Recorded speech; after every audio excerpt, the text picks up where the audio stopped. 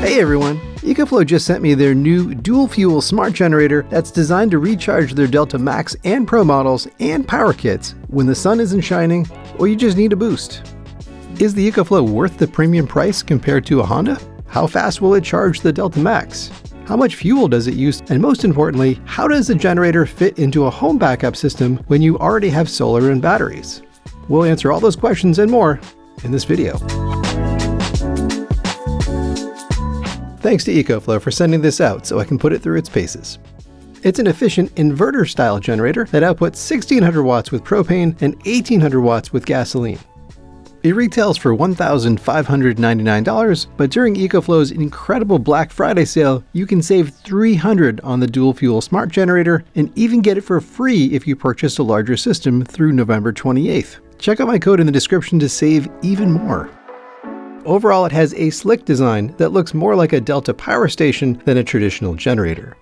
It weighs a hefty 67.2 pounds and is roughly the size of the Delta Pro.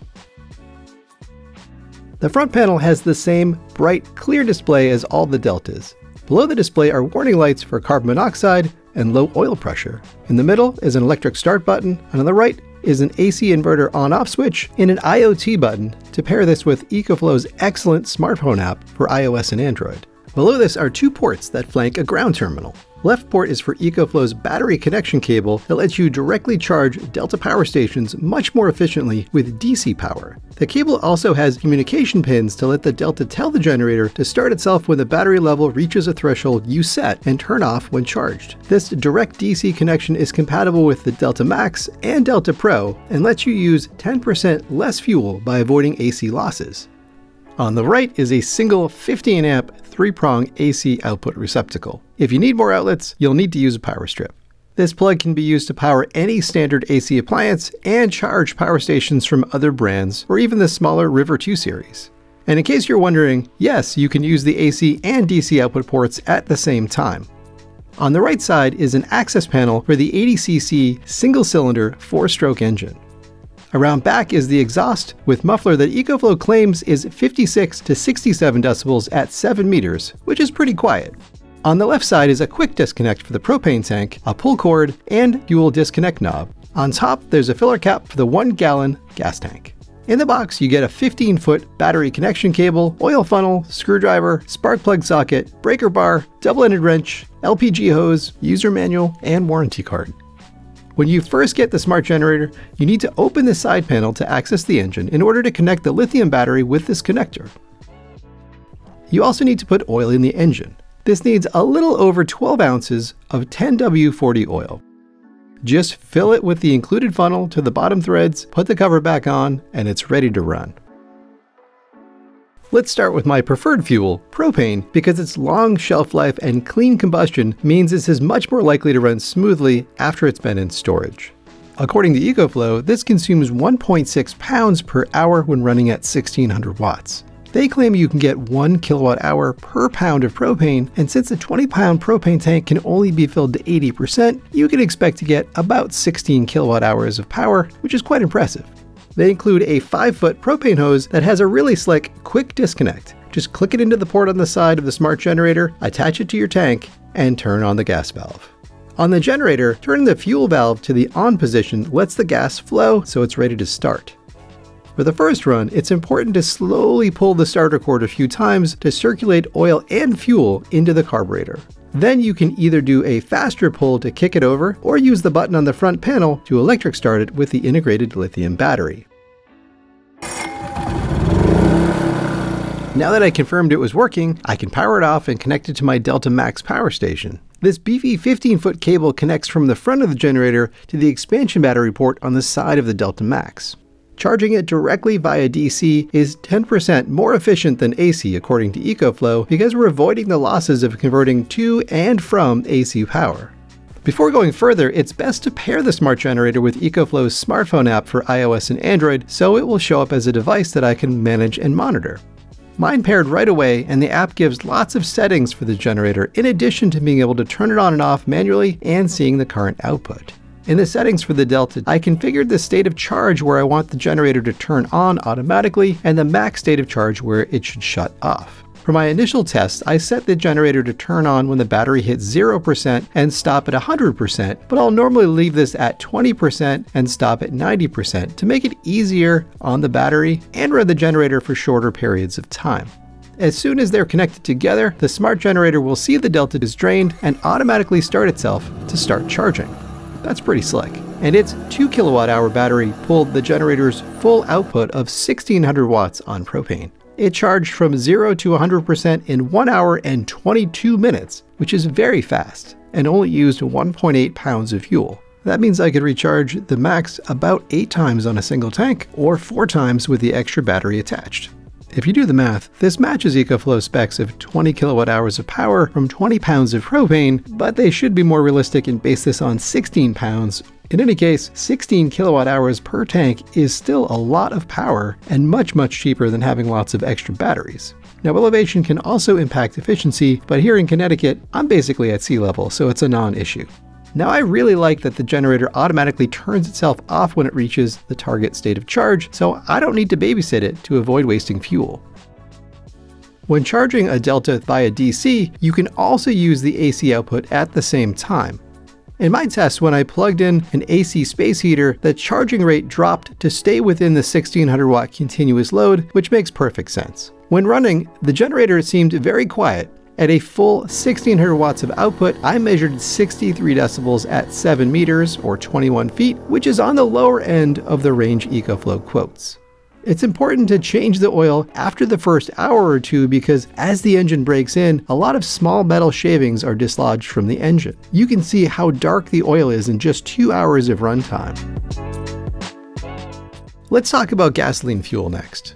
Gas is more energy dense than propane, so it can output up to 1800 watts continuous, which is 200 watts more than propane. If you do go with gas, I strongly recommend that you find a gas station that sells ethanol free gas if you want to start this reliably during an emergency. The filler cap for gasoline is located at the top of the generator and has a capacity of 1 gallon. I gave it a few slow pulls on the cord to prime the gas and it started right up. I then connected the Delta Max and it charged up a few minutes faster than propane because I could max out its 1800 watt input, but it's not that big of a difference. EcoFlow claims that the 1 gallon tank will produce 5.4 kilowatt hours, but my test I got closer to 4 kilowatt hours of power from a gallon of gas, which is enough to charge a Delta Max with the extra battery attached or a Delta Pro. When running gasoline, it's important that you run all the gas out of the carburetor before you store it, or there's a good chance it won't start next time. It's not documented, but if you turn the fuel knob to the O, it will effectively shut off a gas supply and keep the engine running until it runs out of fuel. Thanks to Johnny's Weekend for the tip. So we know this works well, but why would you even add a generator to your home backup system? I think batteries are best suited to handle power outages because unlike generators, they're quiet, efficient with smaller loads, and can run continuously for days. But unless you have a massive battery bank, you can quickly run out of power during an outage.